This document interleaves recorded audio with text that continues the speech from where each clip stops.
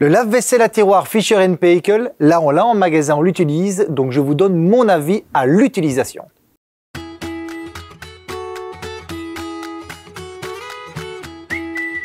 Bonjour à tous, Thomas de chez DefiTech. Alors comme je le disais en intro, le lave-vaisselle Fisher Paykel que vous avez déjà vu dans une vidéo, deux fois dans une vidéo. La vidéo où j'explique la vaisselle tellement c'est un produit qui sort de l'ordinaire.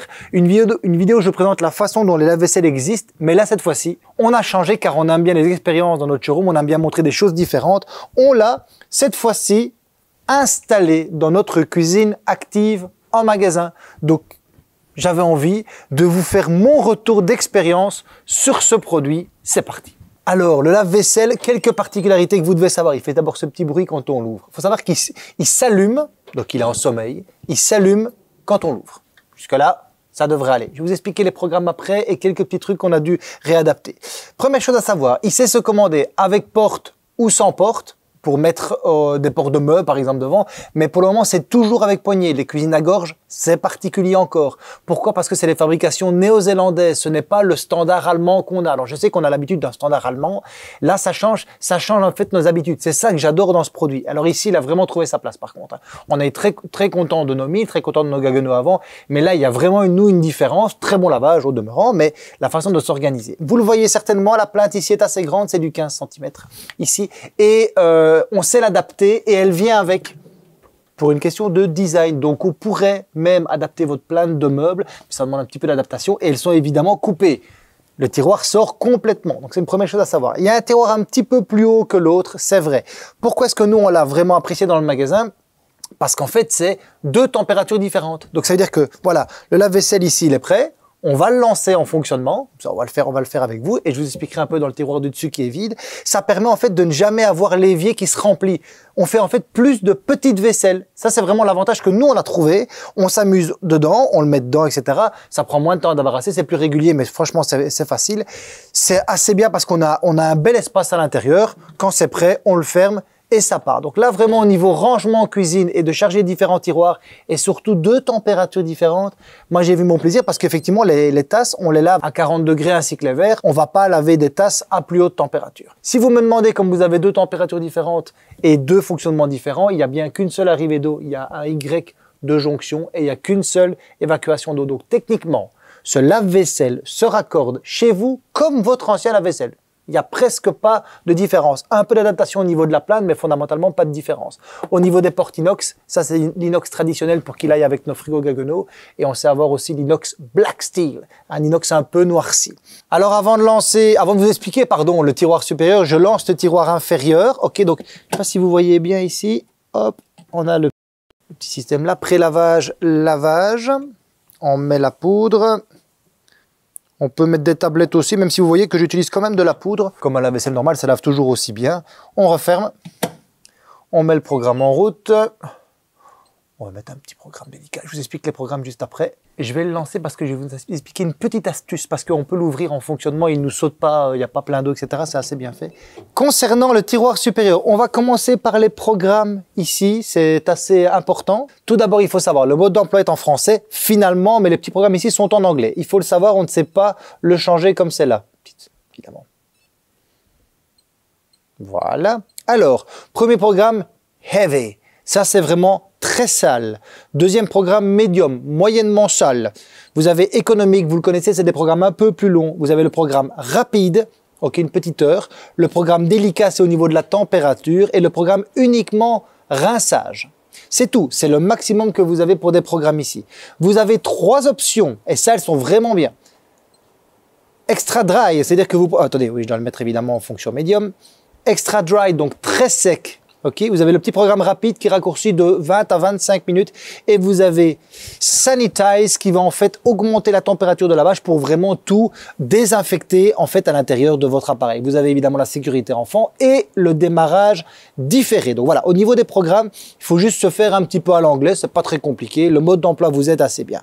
Donc, ce qui est important à savoir, parce qu'on nous, on nous posait quand même pas mal de questions, ce que moi j'ai apprécié, c'est le fait que vous avez en fait ici un grand réglage d'auteur. Alors si imaginons vous avez mis vos couverts en dessous, Vous pouvez même l'enlever si vous avez envie. Je vais expliquer après, le, après pour le filtre. Mais on a un grand, une belle hauteur de rangement ici. On s'est vraiment s'amuser. Donc je vais vous montrer ça. Par exemple, vous mettez votre tasse ici en dessous. On sait régler ceci et mettre même si on a envie un mug au-dessus.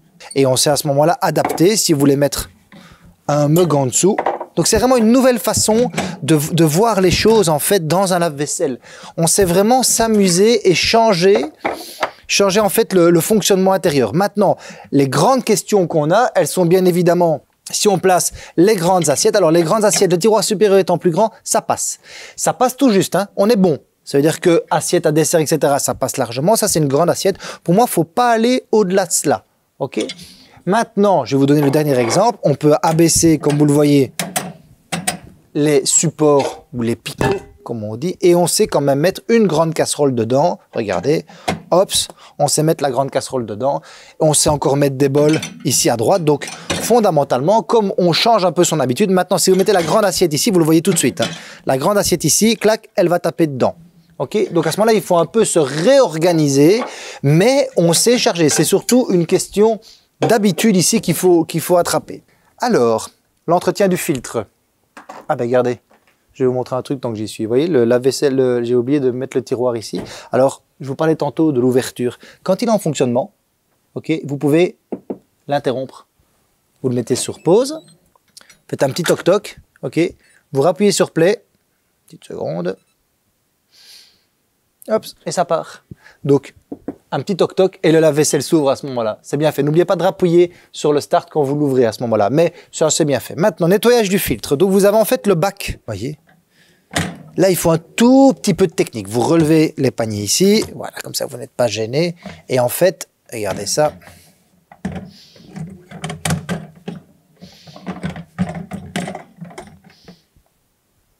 Voilà.